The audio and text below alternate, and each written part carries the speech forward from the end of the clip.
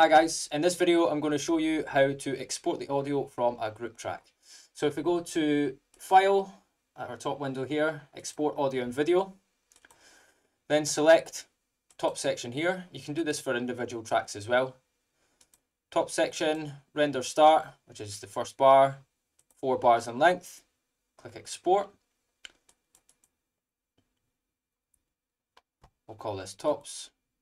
It's already Tops, but we'll save it again. Okay, now if we go into our current project, we have tops already here. So if we drag this file in and we listen to it compared to our groups that we have here.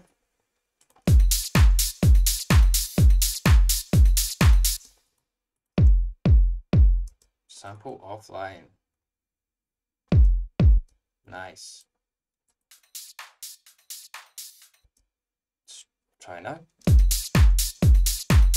Now, it doesn't sound quite as quite the same as the other tracks because it doesn't have the send and return processing because we've not exported the send and return channels. So I just copy the settings. 10.3. Yes, center, you know.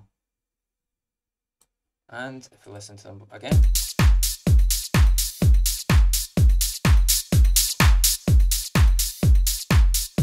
Identical. This will save you a lot of processing power and yeah, it'll save a lot of space in your project as well. Hope this helps, guys.